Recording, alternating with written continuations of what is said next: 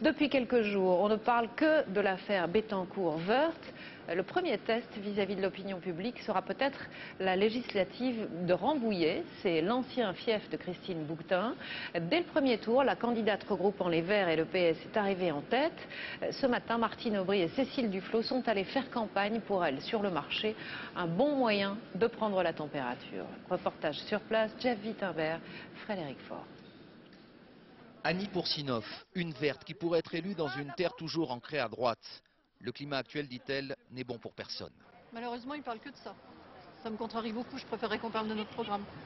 Martine Aubry et Cécile Duflot venues prêter main forte. L'affaire Wörth, encore. La défense du ministre ne les a pas convaincus. Moi, je veux bien qu'on vienne pleurer à la télévision, mais euh, toutes les questions qui se posent aujourd'hui, M. Wörth a quand même déjà raconté des histoires plusieurs fois. Il nous avait dit qu'il ne connaissait pas M. Demestre. Il a fallu que euh, la presse sorte qu'il lui avait donné la Légion d'honneur pour qu'il reconnaisse aujourd'hui qu'il le connaissait très bien. Et sur le marché, c'est le même menu. L'affaire Bettencourt-Wörth à tous les étals. Ici, où l'on a voté massivement Sarkozy en 2007, c'est un mélange de fatalisme et de sévérité. Peut-être euh, que c'est vrai, peut-être que c'est faux. Bon, on- comme on dit, à jamais de fumer sans feu. Hein. Mais euh, ce soit n'importe quel parti, je crois qu'ils l'ont tous fait. Hein.